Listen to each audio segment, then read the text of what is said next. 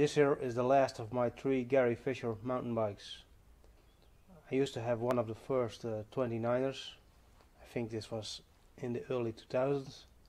And a um, uh, fully suspended uh, Gary Fisher Sugar mountain bike. Anyway, it's time to admit that I will probably never be fit enough to uh, start mountain biking again. So I better sell this thing.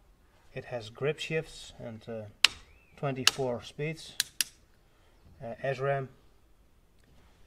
It has uh, uh, V-brakes and it needs a new uh, grip. The hubs are from Shimano Deore and uh, they were rebuilt by me a few times because I used to use these wheels in the winter. The brake surfaces on the uh, rims has been used because these uh, wheels used to be on my other bicycle but they should still be good for many more miles. The spokes are stainless and I will remove these uh, cobwebs when I sell the bicycle. The tires are from Tioga, non-fundable ones with nice and uh, good knobs. They should uh, still be good for many more miles. Although they are relatively heavy if you ask me. All of the decals on the fork are gone so I have no idea what brand this is. Well the brand is probably Manitou but I don't know what type it is. There's no rust here so that's good. It's actually still a bit uh, oily. It's not a great fork but it works. It definitely isn't suspended by air. The saddle is still undamaged although there's some bird shit on here uh, it's from Cordo and the leathering has uh, faded a bit because I used the saddle for a few years. And I believe it is a uh, women saddle because it has this slit in the middle. Not sure if that is true. It certainly isn't uh, very wide and it was sitting rather comfortable because it is uh, well padded. It has a relatively small frame and it is sloping as you can see.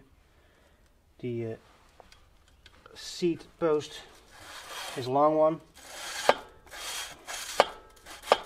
So the bicycle will be uh, suitable for uh, small children and larger grown-up men or women. I'm not too big or too uh, tall. I'm only 174 so it's a it's a relatively small bicycle for me. But I like uh, a nimble bicycle I guess uh, that's why I didn't like that uh, 29er with its big heavy wheels. Although at the time there weren't uh, a lot of different uh, tires available. The front derailleur is, uh, is an SRAM X-Gen and that's a perfectly fine derailleur. And this here is a triple chainring.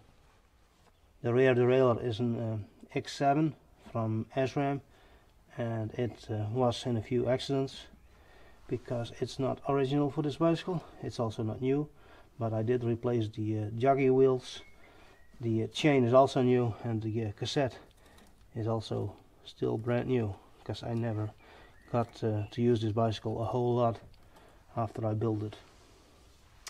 Health issues you know.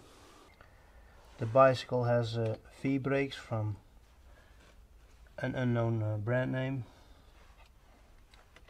but they should uh, work fine. And the uh, brake pads still look okay. All of these uh, cables, both inner and outer ones, and these are stainless of course, have been replaced when I built this bicycle. And they they never saw much use. Definitely no winter use. I think this crankset is one of the few original parts on this Gary Fisher Tarpon bicycle it should be possible to lower the uh, handlebar by removing these uh, spacers. Or you could also flip this uh, front stem. Whatever you like.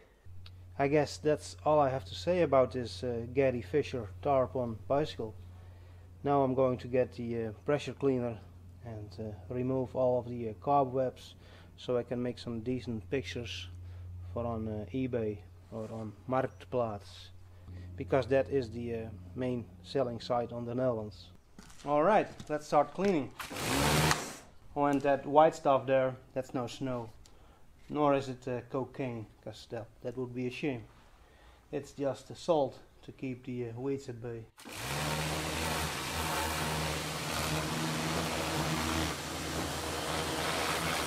And of course I will not uh, pressure wash too much on, uh, on the bearings or on the fork. But when you use a mountain bike like this in the winter, in the wet, in this country, at some point you will have to rebuild the bearings or the cups and cones.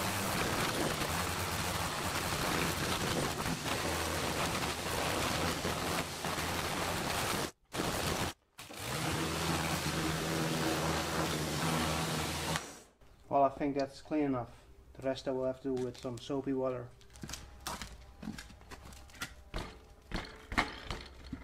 So,